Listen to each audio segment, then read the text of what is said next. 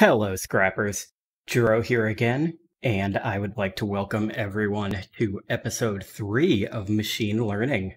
We've got another fun one for you here today, folks. We are going to start again, like we always do, with a little bit of a recap, this time of episodes 11 through 15 to uh, finally get us caught back up. So that after this, we will then be releasing this show on a monthly basis, covering the episodes that occurred during the previous month. Also, word of warning, we are going to, in this episode, talk a little bit about other TTRPGs and other playstyles. And nope, nope, please don't change the channel. Welcome back to the Golarion Wildlife Network. As always, I'm your host Avish Datenbayer. On today's episode, we'll be exploring the subterranean ecosystems of the northern nation of Numeria. While this wild, savage land may be more well known for its automatons and otherworldly visitors, it's also home to a myriad of flora and fauna not found anywhere else in Golarion. Take, for example, the humble fire beetle, Ignis coleoptera, ranging from a few inches after hatching to roughly the size of a domestic cat when full grown. The fire beetle is a tenacious, hardy scavenger.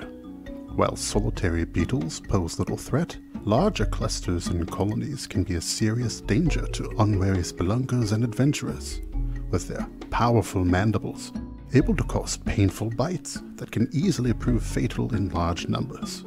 Their name comes from their unique predicament among subterranean fauna.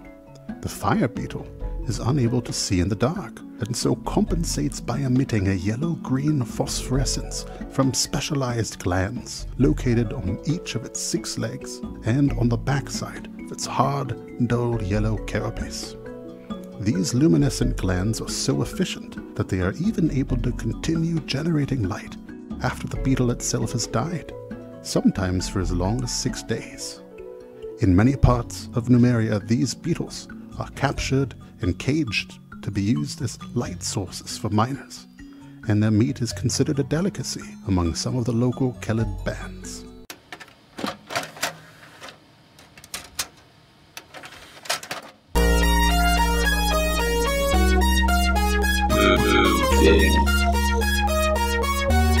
Initiating. Machine learning. Executing. Executing. Executing. Yeah, no, just jam it in there. It's fine. Yeah, square peg, round hole, who cares? Welcome to machine learning, etc. Hello, everyone, and welcome to Machine Learning, the only supplementary podcast where we immediately start off by talking about jamming things into holes. I am your host for this week, Gero, and I am the voice of that random dude who I can't do the accent for that's shown up in a couple of Vargas's flashbacks. With me is Izzy, the voice of Kingsley the Scorpion, Hello, I'm Kingsley. And Izzy. and Jeff, the voice of that weird sack monster from episode 7. And he doesn't say anything, but I'm sure his voice is probably like, Oh, hello, you want a button or something? That is exactly what I was picturing. That's wild. The uh, Cockney sack monster. Also, I find it difficult to believe we're the only supplementary podcast that starts off with talking about jamming things in holes. That can't possibly be true. there are a lot of podcasts out there. Although I don't know how many of them are supplementary, so. And how many of them are Pod About the Machine from Pod Against the Machine, the only podcast with a supplementary podcast with a 25 word title? Probably not many. Ooh, I know Well, I this mean- one. We're the only ones. It's just By one. definition, it's Yeah. just the one. Yeah, eventually you'll Well done, narrow Jeff. it down enough that it only is us. Which is all we've wanted to do with this show is just really find the people who will stick with us by forcing them to listen to a supplementary podcast on a Sunday. So, we are going to start off with a bit of a recap of what happened in episodes 11 through 15. This will be our last kind of like five full episodes jammed together recap. episodes going forward will basically just have a recap of the three or four episodes of the previous month. But yes, we had some interesting stuff. So we had TPK, subscribe on GooTube, welcome to the fungal, delirium dumpies, and sloppy nods and piggyback rides. And I love these dumb names. We really came into our own there. Round 11. Mm. So the first big thing we had was going into this uh, really interesting technological building, immediately getting zapped into a horrible trap, which technically happened at the end of 10, and then opening a conference room to meet our uh, interesting buddy Hetua, and almost experiencing a TPK basically in the first episode of the double digits. Uh, so, what did you two think about that interesting little fight? Well, I think we did experience a full TPK, just, you know, Jeff's TPK and not traditional TPK. Well, actually, no, I guess. Jeff, what's your definition of totally peaceful? Um, well, I have in my notes that he was wielding two diplomacy knives, so I was really right. expecting a much friendlier encounter. So, so when I think of totally peaceful, Mm-hmm. yeah, I know I don't really think of Hetuath. Fair. Okay. Would you say partially peaceful? Uh, we could go with briefly peaceful. Briefly peaceful. I think before before the threat on our lives and attack came, it was fairly talkative. Yeah, he uh, had a nice little conversation with Vargas, and then he immediately threw a spear into Asher's shoulder, I believe, and tried to kill us all. Yeah. One of Sure these did. days, I'm gonna I'm gonna use that javelin. Just you wait. Do you still actually have that on your character sheet? Hetua's javelin. Uh, I should hope that Kira is carrying it because I'd hate to be encumbered. Yeah, we picked up a lot of stuff from that particular episode. I'm almost sure I'm just right on the edge of Kermit, but that's, that's another episode that's, time. that's true. That's true. I loved Hetuath's voice, though. Uh, I wish Sam was here to do it for us. He has done some really good voices. It was almost like a raspy golem sort of thing. It was Mhm. great. It sounded like what you would expect a zombie to sound like. Like, if that makes any sense. Like something that's like dead and doesn't breathe anymore. You kind of would expect it to sound like that. It's got that old dead and doesn't breathe anymore voice. Yeah. Yeah, classic. Yeah. Everybody knows that voice. We all have that one friend, right? one This that's just dead and one in- breathe anymore. You're Right. No, I was. If you if you don't know that friend, you are the dead and not breathing friend. Oh, friend. no. Sorry. it's a rough one. We'll have a support group after. this was one of many instances in which Asher saved everyone. Mhm.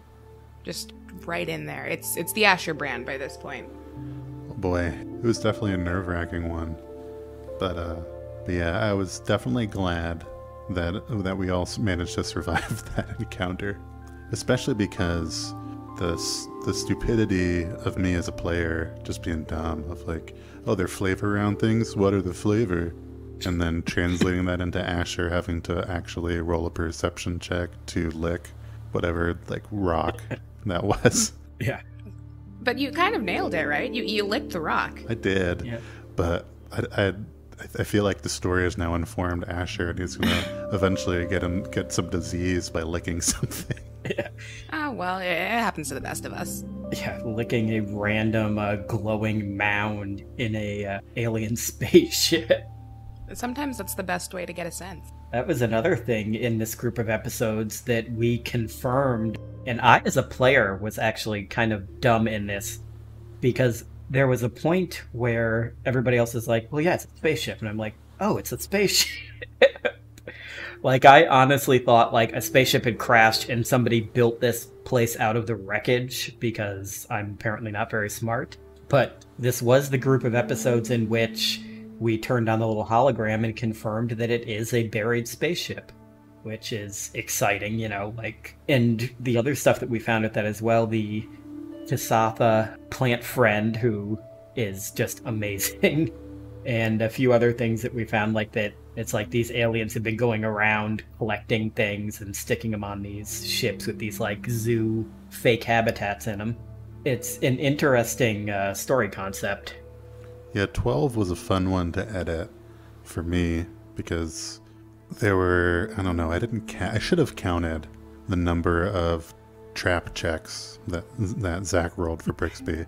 I definitely made a joke and don't do this at home listeners, but if there was a drinking game for every time Zach said high tech or mechanical traps in episode 12, even like, like it would be bad. We'd we'd have lawsuits on our hands. But we also had some great musical goofs and I think everyone's favorite sponsorship plea in a podcast, uh, except for Izzy, known despiser of Gogurt, but It's a soft everyone. but the GooTube, Everyone the is. everyone asterisk, the GooTube was just a sheer delight and has has continued to be. Look forward to future episodes, listeners, because It has endured. it has endured, but I also think we haven't overdone it yet. I think, I think we're doing a good job at uh, perpetuating the enjoyment of GooTubes. Yeah. Peppering it in. Yeah, rather than uh, beating it into the ground, we wait until you've forgotten about it and then we uh, surprise you again with it. Bring it back. I've got 120 of those, so we'll be making fun of them for a while. And on top of the goo tubes, we also found a lot of other really interesting stuff. We found the flashlight that I thought was going to be a lightsaber when Sam started describing it. And that's what We, Brixby uh, named it in, in character. It's- Yeah, It's canon. yeah, true. That's canon. The radiation detector, which I'm sure is not hinting at anything. The Swarmbane clasp, which I'm also sure is not hinting at anything. Just uh, random things that we found will have no future importance. Yeah, those are the sorts of items that when you come across, you think, oh no, I'm going to need this. And that means one of us might survive. I thought it was just a nice necklace. as uh, Asher, Brixby, and Vargas are eaten by some sort of horrible aer- alien cockroaches, at least we'll be safe in the knowledge that Kira is completely safe. Just hanging out with zombie cockroaches, alien cockroaches. Who's to say at this point? Well, going by what we've seen so far, zombie alien cockroaches. yeah, well, well, that all depend on what the the future party members you find as our replacements, if they have the right knowledge skills to know. Oh God. Well, they'll have to because I don't. You got that local. I don't think I've ever successful like done a successful local check though. Is the thing because I still have a minus one. So, like there's there's the Wasn't your. Oh, no, it wasn't. It, It was was, not. Asher's. I was going to say, wasn't your local check the one that let us know the purple haired lady was a merchant in town? But no, that was Asher's local check. The guy who was in town for two days. right. That's we're constantly like Kira. You've lived here your whole life. What do you know about this? And she's like nothing. Why? So uh, you're welcome, everyone. But hey, one day that familiar fly score is going to come in handy, and we're going to look back on these episodes and know that I was right. Adjacent. Is the other thing. Oh, and I mentioned him earlier. Uh, another thing, speaking of aliens, we met a Plant Friend, who was uh, really lovely. I'm sure we'll eventually go back and recruit him into the party. Yeah. Mm-mm. I mean, just a hungry plant, y'all. Nope. Yeah. I've been thinking about that failed will save for like two months now. What does it mean? Does anyone even remember the failed will save? Because I remember the failed will will save. Will save? do remember the fail will save. I'm assuming since we ran into this guy f- pretty early on, it's not anything that's going to last like several days. like we, we go back down there and you're able, he's able to control you or anything, but who knows? I super doubt, You can say. That's super true. doubt Several Kira days is good. now growing one of those in her brain or something. That would be such a bummer, but fun. Yeah. A fun bummer. Bummer first, It's gonna take over your body and make you go buy fertilizer. but not like the fun kind, the chemical kind that when you walk through the grass and then go to the airport, they have to swab the thing. You know, that's an experience we've all shared, Ugh. right? So that was fun. Uh, back to the editing 12 was that we we met Plant Friend at the end of 12. And it was one of those things that any if any of our listeners have played a game on a on a virtual tabletop, whether that's Roll20, Fantasy Grounds, Foundry, whatever, is that occasionally you might see a token on the map as soon as you enter a room that either you might not have seen yet or maybe it was on the wrong layer, and we all saw. We're like, "What is that? oh no!" and it was a good time for Brixby to just kind of saunter up to a computer. And I believe, if I remember correctly, that Sam described everything else in the room Yeah. first while we were all Yep. looking at that token. hmm and also, like just lovingly detailed describing the computer, the lights. yeah, the height, depth, and width of all the desks. Like, Sam, what about the thing? but there is a thing there. After meeting Plant Friend, we looked around some more and we happened to open a door into a medical lab. And I believe if I switch to another tab on my computer right now, we are still actively fighting the uh, flying uh, specimen collector drone. Yeah, Those were the days. Lost a lot of years there. A lot of good memories.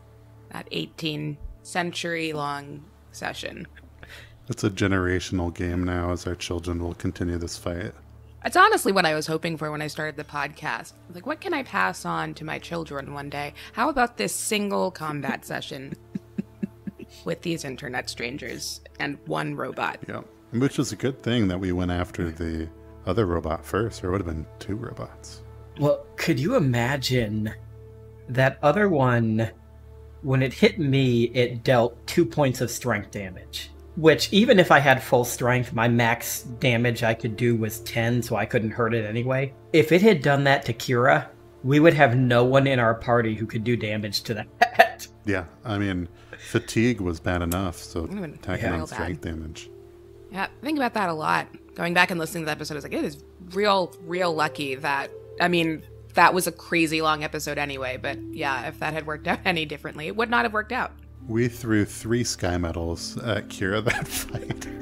like, please, please roll high. Not to mention uh, Oh god, that was rough. Asher with the wand just burning through charges every round to keep Kira up. Yeah, this I don't think I have done enough in my life to thank you, Jeff, for not letting me die for the course of two hours. Hey, Really happy to help. appreciate You know, I've actually been on the receiving end of that in another game that I played on Roll Twenty a couple years ago, and I was the uh, the party tank with my gnome paladin slash oracle, and there was definitely a fight there where the healer in the party just kept wanting him to stay alive. so, you know, I feel like in some small way I've returned the favor. I mean, because I don't know, and this is again fairly new to the game, but I don't know that there's a whole lot else we could have done. Like you just said, there is only, even when I was hitting, half the time it wasn't mm-hmm. doing enough damage. Like that's, Yeah. oh, And I thought, scary.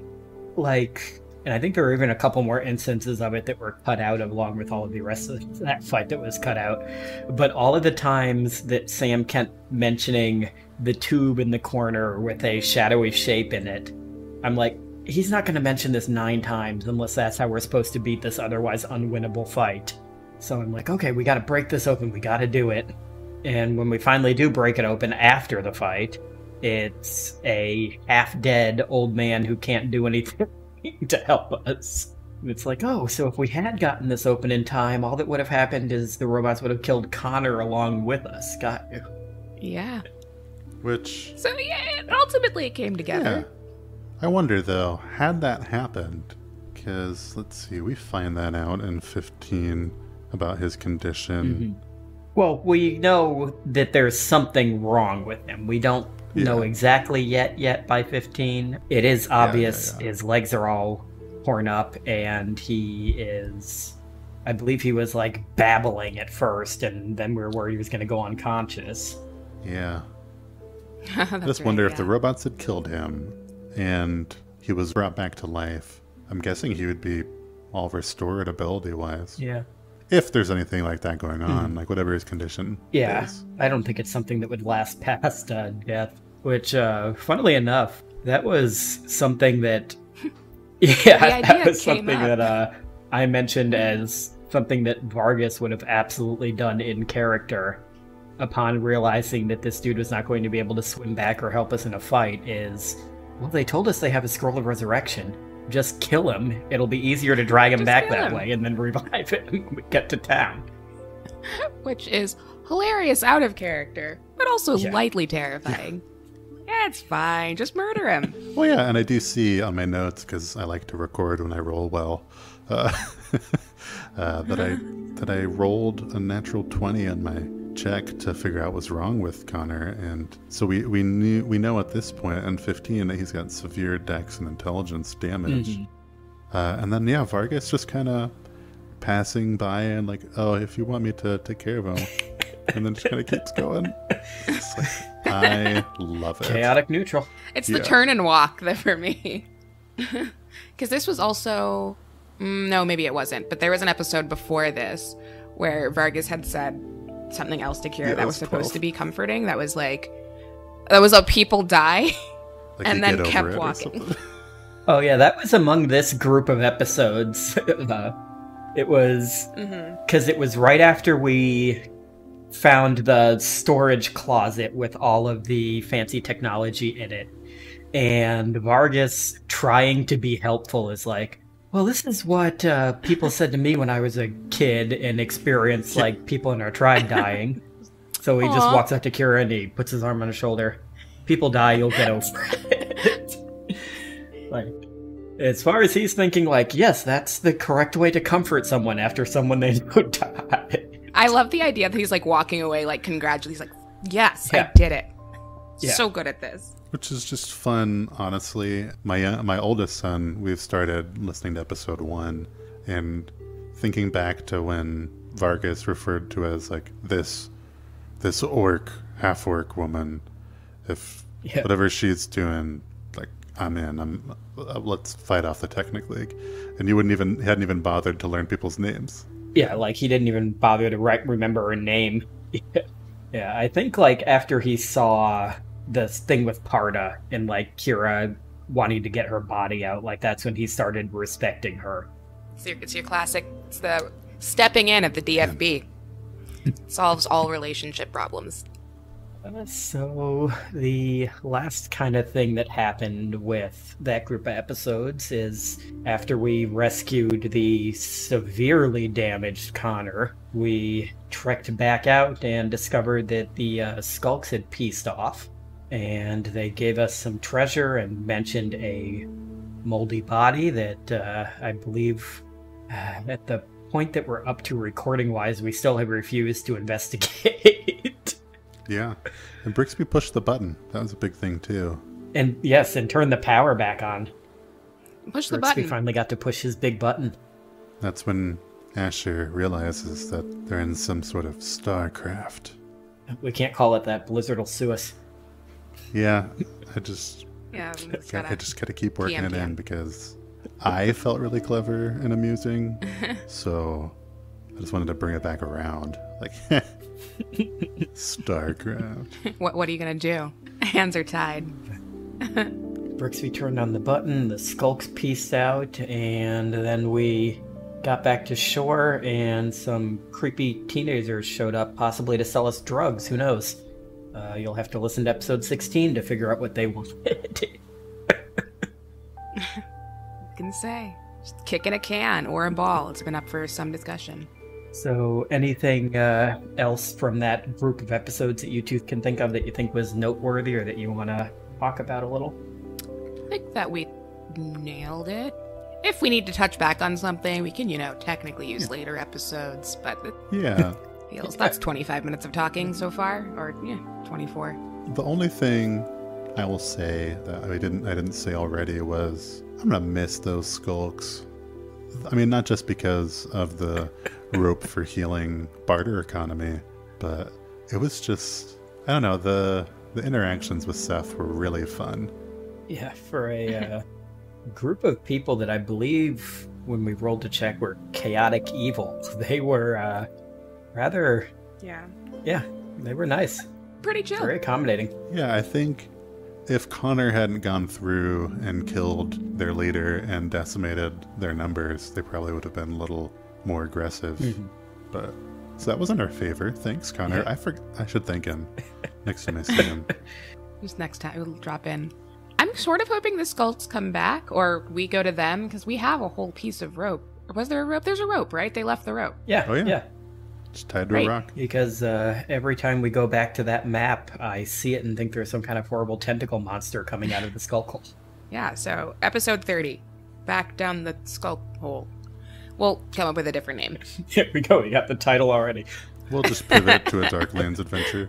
Right. So uh, we will uh, break here for a message from our sponsor, a Mr. Radley, and we'll see everybody back in the Q and A in a bit.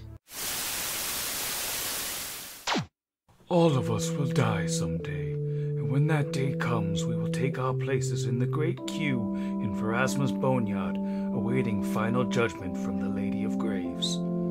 This fate can sometimes be delayed, but it can never be avoided entirely. All of us will die.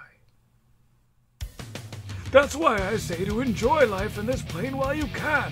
Come on down to Mylan Rothley's obsessively morbid Battletron Arena in the basement of the Chapel of the Wanderer this Star Day night. We've got dead bodies, we've got junked robots, we've got dead bodies tacked onto junked robots, creating something greater than the sum of their parts. They fight each other for your entertainment, and I guarantee the bones will land in a spiral or your money back. Duskwalkers drink free, and the first star day of every month is Shovel Night. That's Mylan Radley's obsessively morbid battle drones, where your dreams may not come true, but who cares? Explosions! Okay, and we are back. Thank you, Mr. Radley, for whatever that was. And uh, we are now going to have some questions from our scrappers. Which, if you're listening to this and you have any questions, we have a Discord, the link of which is available in the description of every episode of the show. And we have a channel on that Discord in which you can ask us questions that we will answer here on Machine Learning. So we have a couple of those for this episode. The first one of which is from Caden Lee, which is What has been your favorite moment on the show to date? And what are you most looking forward to in the near future? And I guess since I'm reading it, I'll answer this one first. My favorite moment, honestly, so far has been the it's a couple of moments. It's been the interactions with the skulks. I have loved that. The whole thing has just been so funny, even though Vargas only took part in like one of the three that we had with them. It's just hilarious. And I just love the idea of us just hanging out with these horrible Darklands monsters. And I think what I'm most looking forward to in the future is us getting into more of like an actual fight with the Technic League, which I'm assuming is going to happen since there is specifically anti Technic League campaign traits. Because uh, that factors a lot into the backstory I made for my character, so I'm kind of excited to be getting into that once we do. Izzy, how about you? Favorite character moment? There, like you said, have been a whole bunch. I still can't get over that moment in episode, what, two? When um, we were fighting the pink frog thing and Vargas went down and then got back up and killed it. Excellent way to come into a new season or any season, our first season premiering. That was great. I thought the whole casino episode was real fun. Uh, one of the more recent moments was like a super tiny thing, Jeff, that you did after we finally finished the fight with the robots. And Asher said something to Kira that I don't even remember, but it was like the sweetest thing. I was like, "Aw, it's like they're little friends now." It was it was like uh, uh, apparently less gripping moment than "Hey, sometimes people die," but I still remember it and just can't remember what he said. So It was something like a I know you could do it sort of thing. Ah, that's adorable. It's like, oh, they're like little buddies. They can all not die and or be supportive by reminding people of other times of death. It's a whole it's a scale with them. Um, yeah, no, I think those are top three, top three there. Oh, Jeff, it's your turn. Go ahead, Jeff. Oh, but what are you most looking forward to? You forgot the second half of the question. Forward, that's right. I forgot the second half of the question. I got so excited with the first half. Most looking forward to. Um, eventually, my teeny tiny orc blood rager will get to use some casting, and I don't know what she's gonna do, but I can't wait. I mean, I have an idea of what she's gonna do, but we'll see what happens. Okay, now Jeff. Oh, okay. Now, so yeah, it's hard to pick favorite moments. I also enjoyed the skulks for sure. Uh, Vargas coming back was a great call. That trait, the fact that it's paid off so many times already. I mean, mixed mixed feelings about that, right? but uh, Yeah, I was I was not expecting to use it that much. Episode but uh, two. that's been fun. Yeah, I really favorite moment today has to have been the dragging the robot through town. Everything about it was was just about that one. it's just absurd, and it was lovely. As far as what I'm most looking forward to in the near future, I sure hope it's in the near future. But lighting that torch, That's a good yeah, one. I would sure. also like to do that. sure hope we get to do that. A bit of a bummer if we discover It's gonna be a real kick in the teeth if we just never can relight the torch. Like Yeah. we just find out it broke forever. yeah. it's, oh. it's actually just out. Sorry. Fresh out of fuel. That's how torches work, right? It's the stuff that keeps away mosquitoes. oh no! You see, the thing is, we got to replace the battery, but it's like a weird watch battery, and only the endorphins sell it, and we can't get there. have to buy one on Fantasy Amazon. Oh, so I'd say endorphins instead of Androffans. Oh, is that I was like? I assumed it was just a thing I didn't know. That's funny. Okay. Uh, question two. This one is from J Rod. What is your favorite character that you've built but never got to play? Jeff, what is your favorite character that you built but never got to play? So the fa- my favorite one, and it was it was down to a, a choice between Michael J, the evocation sensation, is a wizard played by Tom Lenk from like Buffy era, Tom Lenk season six, season seven. Uh, Nice. just a super into himself wizard. But I think what won out more more so because I really like to play this prestige class was I had built a Rougarou spiritualist named Karaskir, played by uh, basically like a current age Seth Green. And Rougarou, is a race I've never played. They're wolf-headed humanoids that can turn into wolves, but are not werewolves and actually hate werewolves. so it's just an interesting sort of like I am a wolf person race that would be fun to explore. But, but he was going to be uh, a soul warden spiritualist and eventually going into the mortal usher prestige class. So just this cool kind of guy who is wanting to help usher people to the boneyard uh, and ward off the undead and find. Th- There's this a bunch of interaction with psychopomps and getting powers from psychopomps, and it just seemed like a really flavorful. As far as I know, correct me if I'm wrong. At, at me on on Discord or Twitter, uh, listeners, but I think it's the last prestige class that was added because it was in the they added it in the Tyrant's Grasp adventure path. So it just was uh, a very cool idea that I hope to get to play sometime. Uh, Izzy, how about you? Is there a character you created that didn't get to play that you wish you did? Kind of. As as has come up before, fairly new to this whole tabletop version of this, but I did play a lot of play by post when I was a kid.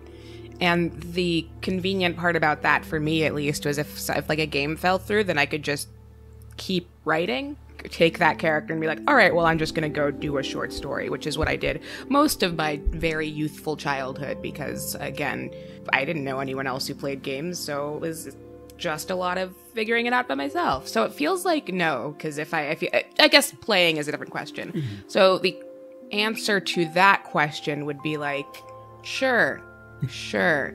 Yeah, like was there someone then in that case, like one that you went on to create your own little single player story for that you wish you had been able to use more in an actual play by post? I had an archer that was uh, like a former, I don't know, concubine or something, um, who like just I basically made when I was like a kid, just did a Robin Hood reverse sort of thing, and that was fun. I am real. I love a ranged character. I love a melee character, but I love a ranged character too, and so that I'm working on a Pathfinder variation for that. So I haven't played that person yet, and haven't gotten to play them yet, and that's about as much as I know. So when next time I reinvigorate a character and it's a archer or a ranged character, you will know that's that person. There you go. All you. Uh, mine is actually a fairly recent one because it was the first time I was going to do this in Pathfinder, but it was a Gestalt or Gestalt or however the G is pronounced in that class, which for people that don't know, that's basically when you multi-class, but you take everything from both classes at once. So you don't do like one level of one, one level of another. Your level one character has all the stats and abilities of the level one of both of those classes, so that you basic it's basically like a power fantasy character and it was a going to be a witch mixed with a what the heck are they called not shadow blade uh The Gloom Blade. Gloom Blade, yes gloomblade and he was going to be based off of uh Djimon Hounsou who is uh an actor he was in uh he's been in a lot of comic book movies and I got to do a single session as him where we didn't have any combat because it was like the introductory session where we all met each other and started our adventure. And then the guy running the game unfortunately ended up losing his job when COVID hit. And we had to stop it. And I just am so bummed out because I had like all this backstory and stuff for this character that was going to be good and just playing such a ridiculously powerful mixed class character like this. Because those two classes uh, work together really well. Like they don't sound like they might at first but when you get all of the powers of both of them at once and you don't have to pick and choose it's ridiculous the last question we have is from commodore and it is what is your favorite ttrpg system though technically the original question was uh, what is your favorite TTRPG system and why is it Pathfinder? but going to uh, just kind of go with the first half of that question. And let's uh, start with Izzy on this one. Well, obviously it's Pathfinder because of all of the reasons of how it's the best. But hypothetically, if it wasn't, it would be probably powered by the apocalypse because I have a lot of younger cousins. And it's such a straightforward thing to teach to them because it's, you know, you, you roll 2d6 and everyone knows what a t- d6 is, even if you don't know what other d mm-hmm. numbers there Yeah. are. Even if you don't know it's called a D6, you know what it is. Right. You're, you know, you've seen that. It's a cube with dots. And it just makes it very easy to like teach to younger kids or newer people. And then I think it allows uh, for anyone who prefers or like really enjoys the storytelling aspect, you can pretty much do whatever. Uh, which I think is obvious. It's true with, you know, uh, crunchier systems like Pathfinder, which is my favorite as specified by the question. But I think it allows you to kick off a little faster, you so you could do something like a one shot with people who've never played before. Although Jeff, throwing the question to you, you just did that, like led, and I'm, I guess lots of people have led others through a one shot of Pathfinder who've never played before, which seems super scary. It, I, I guess I'm speaking on their behalf, but the players seem to enjoy themselves. So they, you know, you got to power through the fear. So the question, Commodore's question, you know, it really is. Mine actually is Pathfinder First Edition.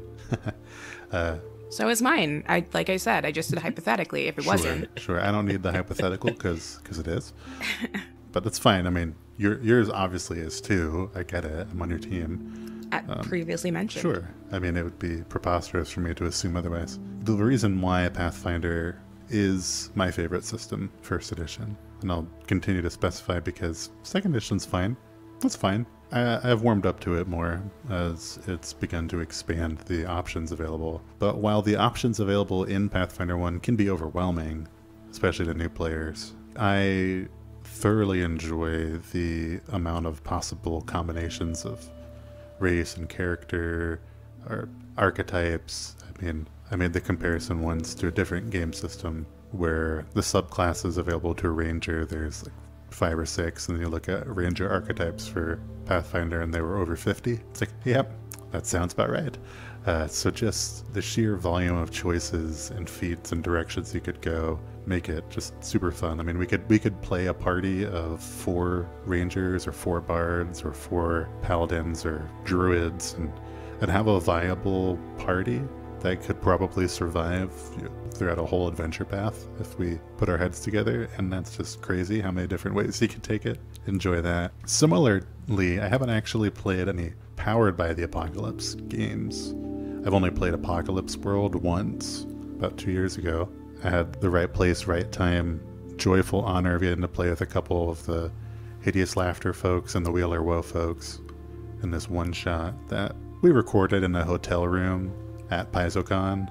And it was just a, a real blast. It was my first time playing it, uh, the only time I played it so far, and I loved that you build your backstories sort of together and like who you kind of there's a whole round of character creation that you do communally and so say who would you trust the least or the most and, and I really like the fact that everything's so intertwined and like you were saying Izzy the the 2d6 is simple but it, whoever is run the MC or storyteller or whoever for your game just gets the the way to say either you know all right roll plus weird or yeah it sounds like you're using this play from your playbook i just i think it is a delightfully simple thing that you could take in so many different directions that i adored that game that i played and would love to play more of that in the future what about you Gero? Mine is honestly probably 5e, as much as it tends to get looked down on by and that's a all lot the of time we have Uh, for everything today I folks very much You finish your answer. I very much uh, enjoyed 3.5 when I was younger, and I like Pathfinder because it does remind me so much of 3.5. But 5e was what got me back into tabletop gaming in the first place. And while it's true that the actual like Wizards of the Coast stuff for 5e is just ridiculously bare bones, the system itself, due to being like a much simpler, easier to use system than some of the ones that are more crunchy means the homebrew for it is ridiculous. Like some of the games I've done, and some of the people that are in our Discord probably know. Uh, not too many people that watch know because I don't think I mentioned it too much in the show, but I am like a huge fan of anime and such. And I have done so many 5e campaigns that have been set in like anime worlds because you're able to homebrew classes from TV shows into 5e in like 10 minutes. The amount of stuff that you can make with it because of how simple the system is and how easy it is to customize and modify compared to other ones that may be crunchier like Pathfinder or that may be more specific and such. It's like it's sort of the same kind of thing like Izzy said about Powered by the Apocalypse in that it's easy to make something in because the rules are simple. And I like that and I just also like the gameplay that it's crunchier than just rolling a certain number of a single die like some of the apocalypse ones or some other games are uh, like GURP systems and stuff like that. But it's not so crunchy that it can sometimes turn into a slog which as much as i love pathfinder and i love the official stuff for pathfinder it's very well written it's very fun to play when you end up with some stuff like our robot fight that can get that in some of the higher level combats where a single combat between like four level 15 PCs and a single enemy can take three hours. It gets a little crazy. I like that uh, 5e, even when you're like a level 19, 20 character, you're still weak enough, as a way to put it, that like you don't have a super lot of stuff to do. It is, there isn't a lot of crunch to it, and I like that about it. Yeah, I was obviously goofing. Although there are Pathfinder players who aren't. uh, I've only Yeah. played in a few one shots of 5e, but I enjoyed every one that I played. There's a lot of people that think they're like competitors, and I guess they technically sort of are. But what we need to really all come together and remember is that two discrete groups of people both came together in their own way to say, Dear God, fourth edition was terrible, let's make something better. and that's what brings us all together the Pathfinder players and the 5e players. That is our uh, neutral ground. and that's what matters. We share a common bond. I will say too, I'll circle back for bonus. I played in the Summit of Kings one shot for Swords Fall, which is a super awesome world and game system. Highly recommend it. I played a rap battle with dice Sounds amazing. and it just was phenomenal. And even if I hadn't won, I would have still had an amazing time just because it was super cool. Right. Well, that brings us to the end of our questions. So, hope everyone has enjoyed this episode of Machine Learning, a pod about the machine from Pod Against the Machine, the only podcast with a supplementary podcast with a 25 word title. I am your host for this week, Gero, and I'm gonna steal Sam's line. That was the actual thing. I'm not actually gonna say going to bed. Like the anticipation's killing me. Okay, fine. I'll actually say the It's like, actual you, line. you didn't say that. You didn't say the line. You didn't say the line. I'm going to bed. Good night, Night, Dro. Dro. Theme song.